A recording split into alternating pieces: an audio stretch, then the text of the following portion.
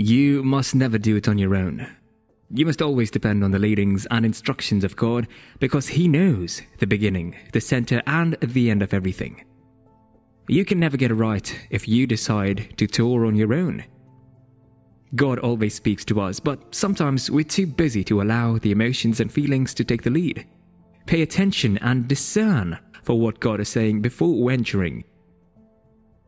Know whether He's asking you to proceed or wait a little while.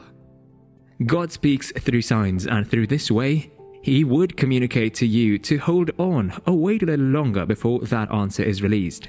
And one thing we should ask for is the grace to understand and watch out for these signals and signs so that when we get them, we would not be devastated or confused on what to do and what not to do. I ask that God give us His wisdom. Amen. God is God. He answers all prayers, but there are times when He wants you to wait a little longer because He has a better plan for you. So, when this time comes, we should wait because it is for our good.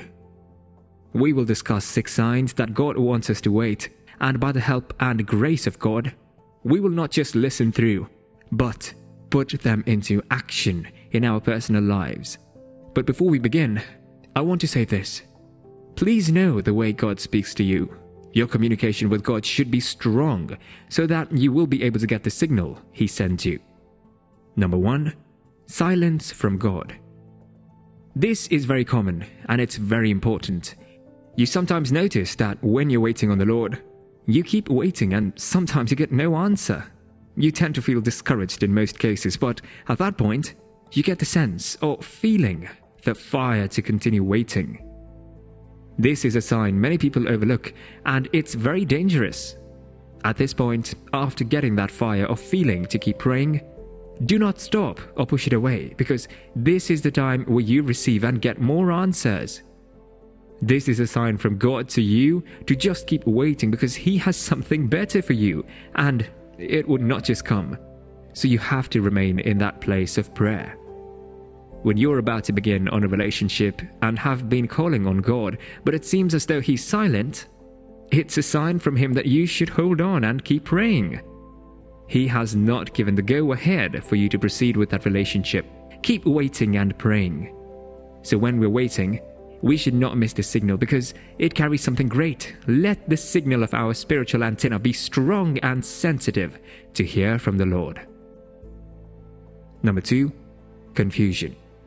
Sometimes when praying, you do not get a clear yes or no, and you get confused because you have more than one option to pick from or make. These options might be sensible and very convincing to move with, but you are in between the two and don't know which one to go with. And then you begin to ask yourself, if I go with this, it will yield results, but what if I go with the other? It will also be good and maybe yield better results. Which should I go with? I just cannot pick from the two. Should I go with both? But it's not possible to work with the two. Confusion and chaos set in and no confirmation in the action you want to take. While at the edge and not sure whether to go ahead with the relationship, it is a way God is communicating to you to wait. You must not enter any relationship confused. Keep praying until the confusion ends. This is a clear sign from God that you should keep waiting and praying because God is not the author of confusion and we should know this.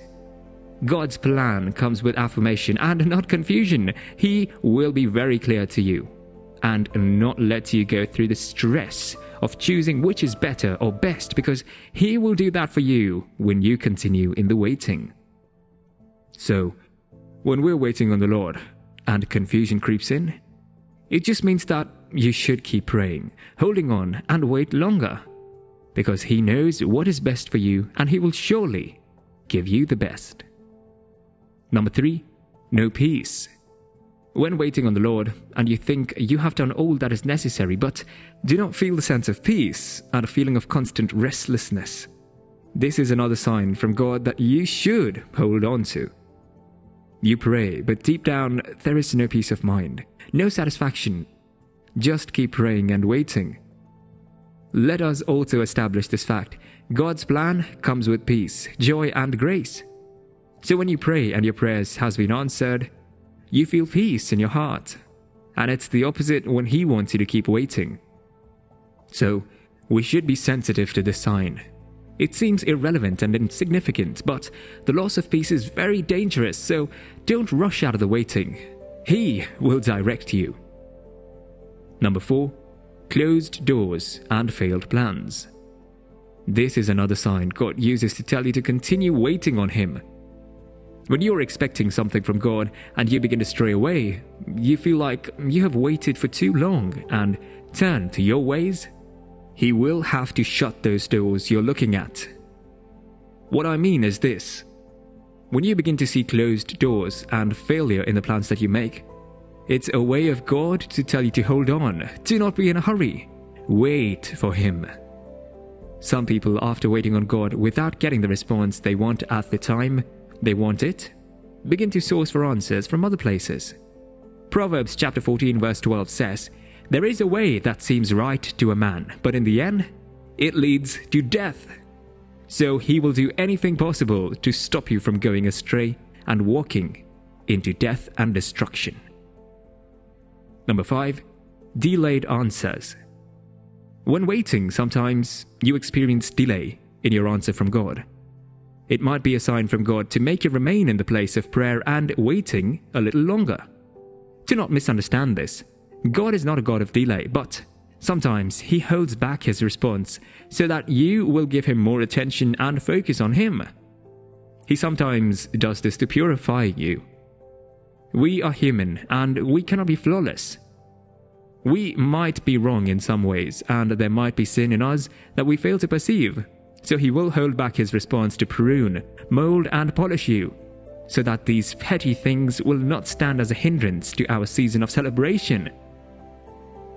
Just keep waiting and hold on, because he wants you to get the best. Number 6. Counter revelation or prophecy. Sometimes, when we're waiting on God, and you feel like you have done all that is needed, and maybe through a dream or other means you see yourself losing it. This is not a time to relent and say you lost, or a time to lose hope and start doubting. This is a sign from God to let you know that you need to persevere more and remain in the place of prayer, waiting on God. Maybe in a spiritual realm, you may have given some space to the devil to carry out his plans and destroy the good plan the Lord already has in store for you. God wants you to hold on to Him in prayer and not rush in making any decisions. This should not be dealt with lightly. Hear this from C.S. Lewis in conclusion. I am sure that God keeps no one waiting unless he sees that it is good for him to wait. So, when He gives us these signs, and in others to wait, we should wait faithfully.